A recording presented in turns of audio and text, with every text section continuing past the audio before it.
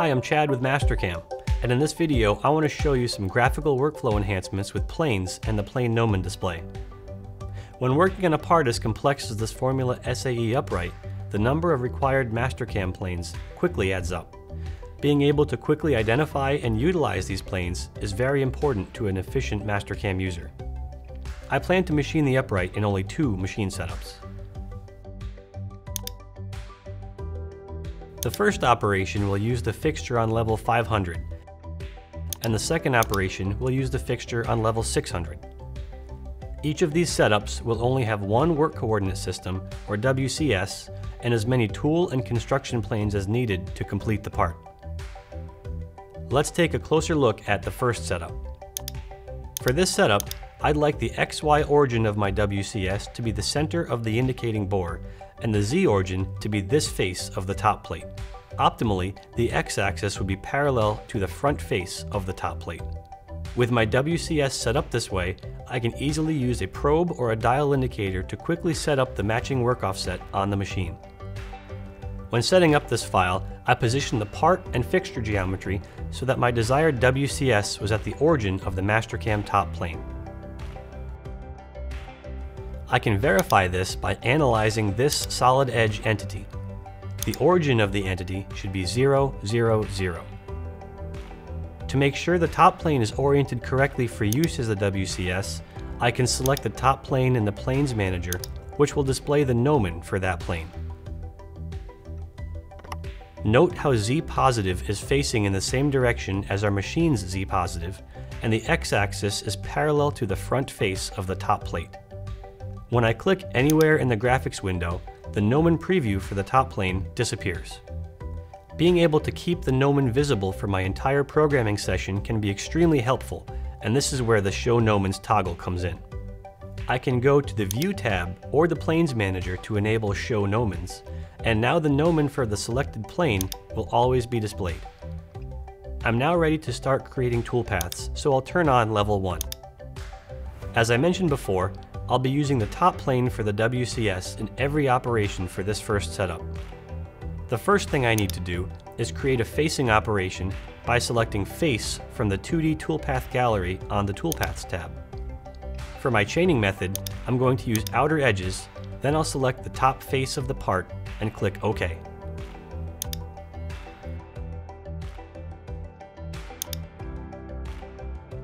I'll leave the default tool for now. On the cut parameters page, I'll change the style to zigzag and set the stock to leave on the floors to zero. On the linking page, I'll set the retract, feed plane, and top of stock to incremental 0.25 inches and click OK to generate the toolpath. Next, I need to add facing operations for the two tilted faces on the part. I'll need to tilt the tool to machine these faces, so I'll create a couple of new tool planes to help control my tool motion. To easily create a new plane, I can simply click on the gnomon in the lower left corner of the graphics window, and then click on the first face. The Z positive direction automatically points in the direction of the face normal. This is a 3 plus 2 operation. What that means is we're using the multi-axis capabilities of the machine to get our tool axis normal to the surface we want to machine, but the toolpath we're going to cut once the tool is aligned is a standard 3-axis toolpath. Because of that, I don't need to worry about the XY origin of my new plane. I just want to make sure that the Z-axis origin is aligned properly since that is what will align the axis of my tool.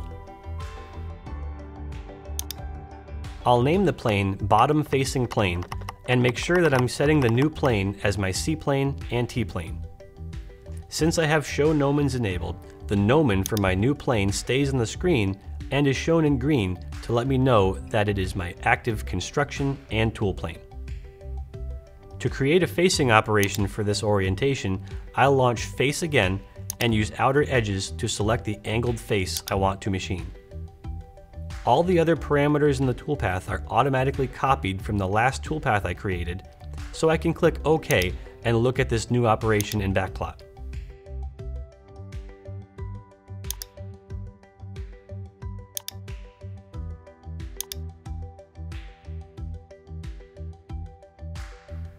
There's one more facing operation I need to create for this last angled face, and I'll do this the same way I did the last operation.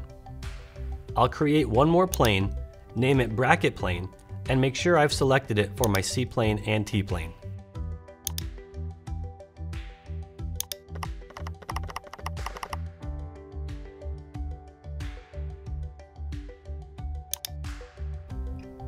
I'll select Face again on the Toolpath tab, select the face, and once the Parameters dialog opens, I'll click OK to save it. Then take a quick look at it in Backplot.